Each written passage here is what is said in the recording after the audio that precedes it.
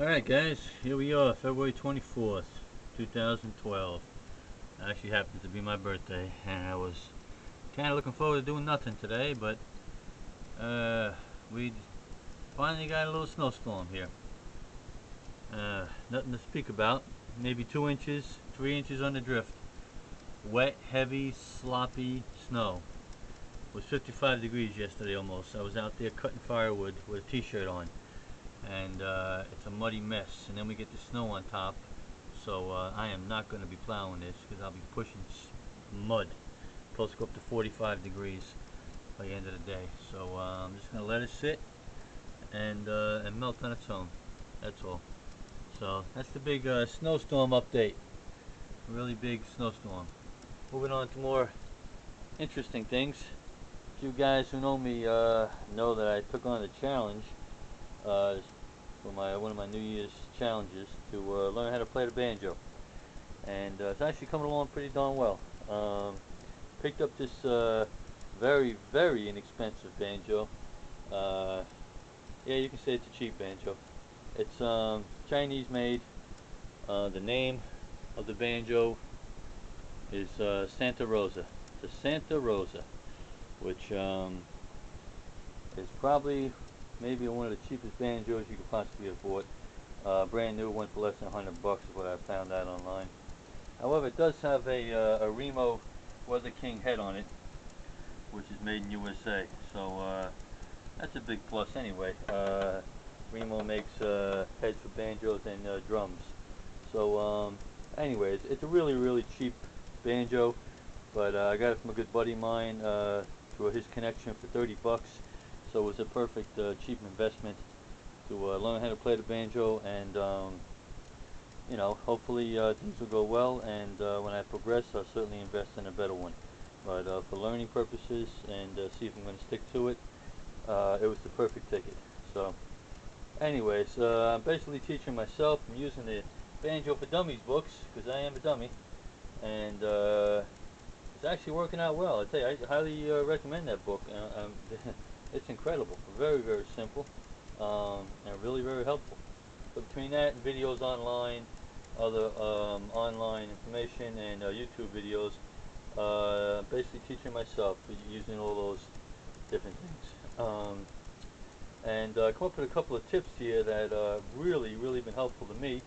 And uh, I'm sure I didn't invent them, but uh, figured I'd pass them on anyway for anybody out there that hasn't ever heard of doing this before my eyesight's really gotten poor um, as I've gotten older and I use re reading glasses and um, reading the music and looking down and looking at the banjo, seeing the strings and back to the music got to be a little tricky.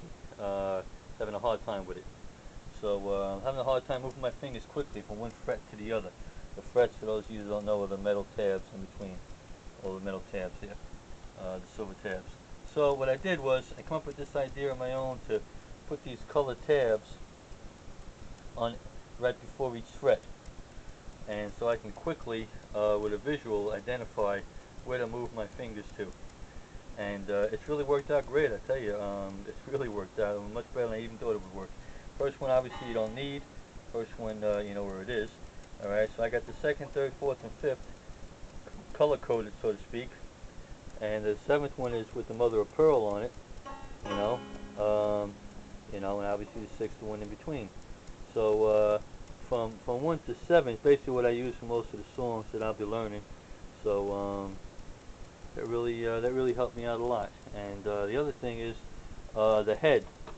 Um, again with the eyesight, the strings these strings almost like fishing line, and can be very hard to see the strings with the white background. So um, some guys put black or red paper on here, like like you see, I have this white piece of paper to uh, try to uh, get a better visual of the strings, and that helps. I, I tried that; it helped, but uh, I just wasn't crazy about how it looked, uh, black or red paper. But then I got thinking, and thinking, and thinking about it, and well, I started thinking to myself, black and red. Hmm. Black and red. Oh boy. Yes, the solution was right under my nose all the time. This is my background. That's my banjo background. Farmall International Harvester. And as you can see, I don't know if you can see, the I and the H land perfectly to uh, make the strings more visible. And believe it or not, it has helped me tremendously. And uh, of course, it dresses up the banjo and uh, doesn't look like a cheap Chinese-made piece of junk anymore. Um, and uh, you know, I thought it was uh, definitely worth sharing with you guys. I know you Farmall guys out there are definitely gonna like it. And uh, so that was pretty cool, I thought. Um, so now the banjo, uh, you know, has taken on a whole new meaning to me. And um, so, uh, so uh, a few people have commented and uh, joked around that my color tabs here look like a rainbow. Looks like a looks like a rainbow, Dan. What the hell are you doing here? So, just taking off on that, I decided that one of the first songs that I've learned how to play on it, which I'm not going to play today for you because I'm not perfected it yet, but uh, one of the first songs I'm learning how to play on it is Somewhere Over the Rainbow. And uh, since that is my first song, learning how to play on it, and since uh, my buddies are ribbing me about looking like a rainbow, I decided to name my uh, my banjo Dorothy. So, from this point on, this is not a Santa Rosa anymore. This is Dor Dorothy the banjo, and uh, one of a kind international harvester. So, that's the deal, guys. Thought you'd get a kick out of that. And uh, so I'm going to go outside and uh, shovel that little bit of snow we got, and then I'm going to come back inside and spend my birthday uh, fiddling around my banjo. So uh, thought I'd share that with you. Alright guys, appreciate you watching. Hope you all have a great day. Welcome Daniel.